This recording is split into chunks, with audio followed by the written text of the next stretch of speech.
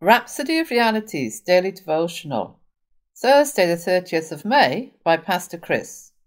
The topic, His Light is in Your Spirit. Our first verse. The spirit of man is the candle of the Lord, searching the, all the inward parts of the belly. Proverbs 20, verse 27. As God's children, we're never in the dark about anything. You can know anything because the light of God is in your spirit. The Lord Jesus said in John 8:12, I am the light of the world. He that followeth me shall not walk in darkness, but shall have the light of life.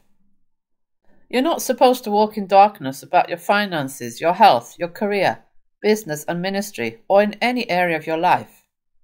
If you ever find yourself in a situation where it seems you're at a loss for answers concerning a situation, speak in tongues.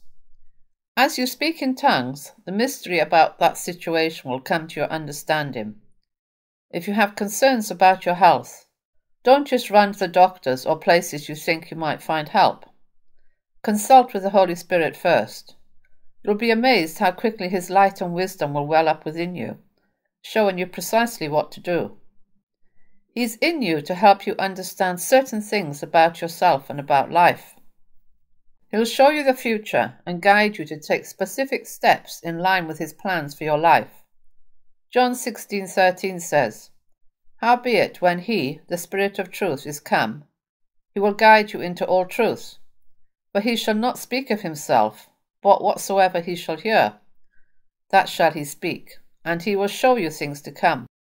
Learn to follow his light and guidance from within you. Let's say this prayer confession together. Repeat after me. Dear Father, as I speak in tongues today, the eyes of my understanding are flooded with light.